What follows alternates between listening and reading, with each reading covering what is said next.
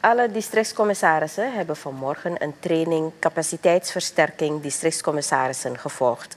De training is georganiseerd door het ministerie van Regionale Ontwikkeling en Sport.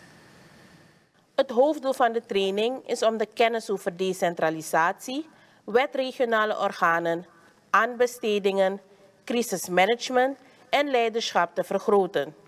Op die manier zijn de DC's beter uitgerust voor de uitoefening van hun taak.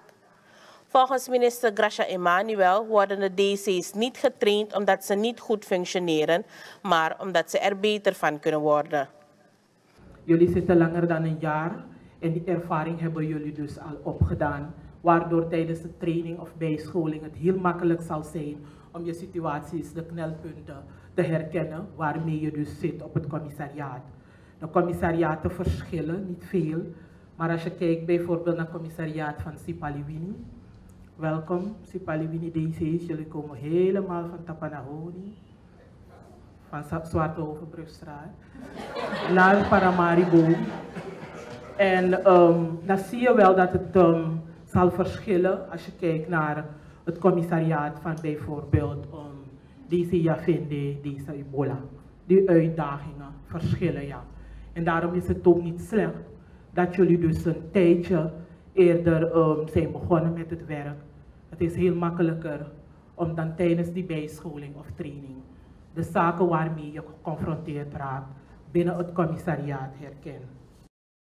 Emmanuel geeft verder aan dat de grondwet en de wet regionale organen de bedoeling had om voor de districten een bestuursmodel van lokale overheid te ontwikkelen. De regionale organen hebben niet als zodanig kunnen functioneren vanwege ontbreek, het ontbreken van autonome bevoegdheden om eigen inkomsten te kunnen genereren. In de periode van de inwerk, inwerking treden van de WRO was het district een zuiver administratief resort. De DC is volgens het reglement op het beheer der resorten en het staatsbesluit van 23 juli 1990 ter uitvoering van artikel 32. Je hoort het heel veel wetten en regels, allerlei zaken. Mensen letten erop, daarom ben je DC. Je weet het en jullie waren dus een ambtelijk orgaan van de centrale overheid. De grondslag voor het bestuurlijk handelen van deze regering is het beschrijven en operationeel maken van het overheidsbeleid, waarbij de regering een faciliterend, controlerend, controlerende en aanmoedigende rol vervult. De trainingen beginnen in februari en eindigen in juli 2022. Gedurende deze zes maanden worden de DC's één keer per maand getraind.